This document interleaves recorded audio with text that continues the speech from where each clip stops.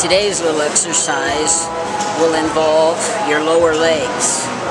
It's called the seated dumbbell calf raise. And this is a perfect exercise if you don't have access to a gym, but you do have dumbbells at home. All you're going to need is something to sit on, your dumbbells, and a 2x4 or a step stool or a cinder block or something like that that will get your feet up off the floor and allow your heels to drop down and your toes to come up. So, let's get started with the exercise. Alright, here we are. We've got our dumbbells on our knees. We've got our little footstool or little footrest to put our feet on.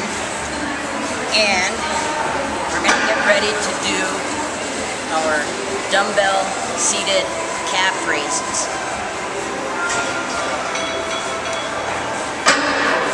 If you'll notice, I'm sitting right on the edge with my butt.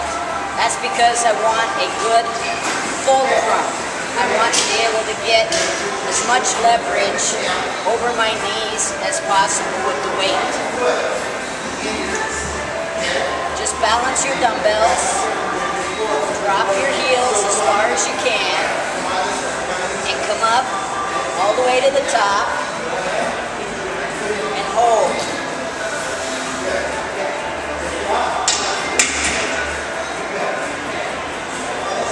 That's cool.